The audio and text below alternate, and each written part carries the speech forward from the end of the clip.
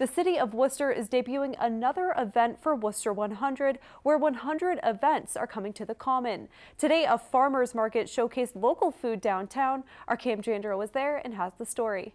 Vendors set up their stands Friday for the debut of the city's newest farmers market.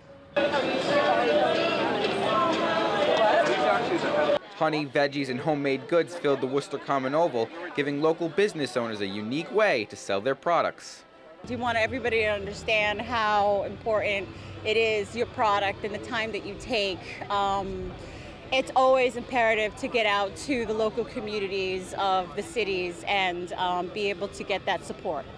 The market is part of the Worcester 100 campaign and will feature some of the area's locally produced food, meat, and produce.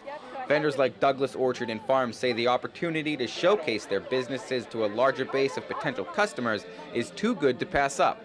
This is great to be in the city heartbeat of Worcester, which is actually thriving in you know a cultural city. I think it's it's it's definitely a lot of good things happening here, and uh, and this is the center of it, right here, this common in front of the Registry Deeds, City Hall. It's fantastic.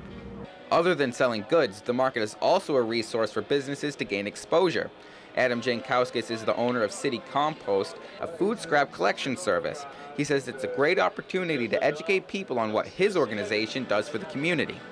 A lot of folks aren't even aware of compost as a concept, so it's great to be able to educate them on what it is and the value that it has from a growing perspective, and then also the unique aspect and the service that I put together. Now, vendors from across central Massachusetts will be selling their goods on the Common this summer. If you couldn't make it today, the farmers market will be downtown every Friday until September 29th. In Worcester, I'm Cam Jandrow,